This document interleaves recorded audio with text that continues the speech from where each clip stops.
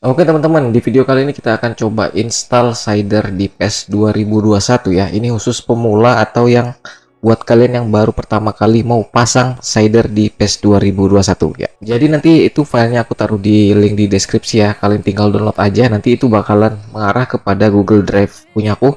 Kalian tinggal download aja di situ gratis. Oke, kita langsung ke cara installnya ya. Setelah kalian download maka nanti ada file seperti ini ya, Cider versi 71.6 ini mungkin versi yang terbaru ya kalau nggak salah ya. Kita langsung aja di sini kita uh, ekstrak here.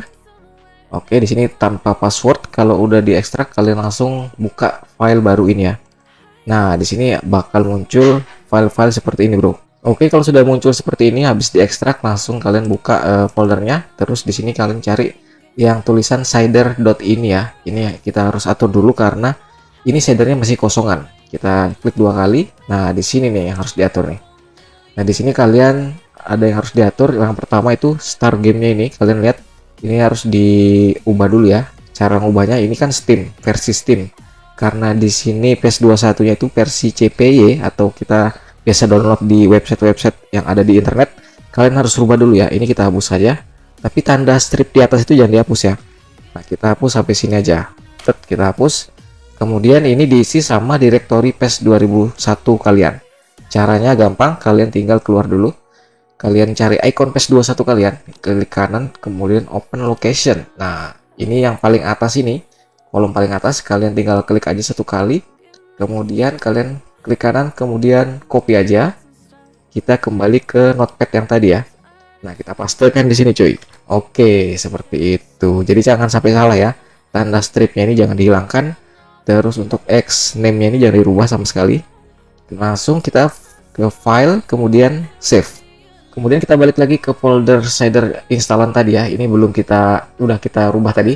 Kemudian yang paling penting itu yang ini sih yang live CPK ini bakal di sini nanti bakal ditaruh untuk mod-mod PS21 yang akan kita gunakan seperti Facepack dan lain sebagainya. Di sini masih kosongan yang ada cuma root ya. Untuk tutorial cara pasang facepack mungkin di lain waktu aja.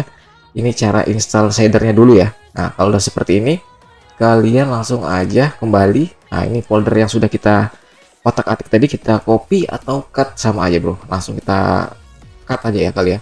Terus kita pergi ke folder PES 2021 kita keluar dulu terus cari direktorinya. Di sini kita klik kanan open location. Nah terakhir kita pastekan di sini cuy di folder PES 21 nya karena aku udah ada kita nggak usah paste ya.